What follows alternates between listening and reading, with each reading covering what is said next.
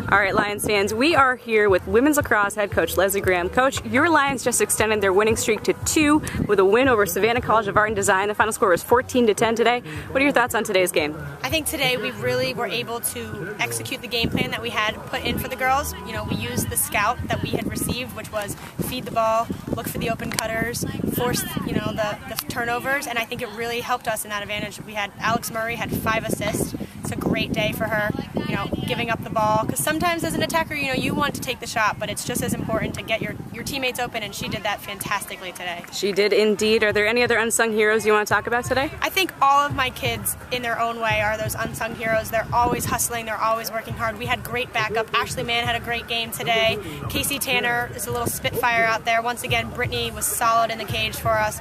Everybody, you know, has their role on this team, and they execute it so well.